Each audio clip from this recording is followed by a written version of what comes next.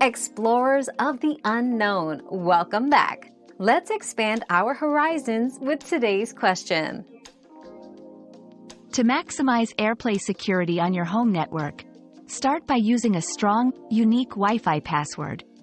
Ensure that your router's firmware is updated and enable WPA3 if available. Use device passcodes so only authorized users can stream. Consider setting up a separate guest network for visitors. Finally, regularly check and update the firmware on all AirPlay-compatible devices to safeguard against potential vulnerabilities. Another mystery solved, but many more await. Keep up with our daily discoveries by subscribing and turning on notifications.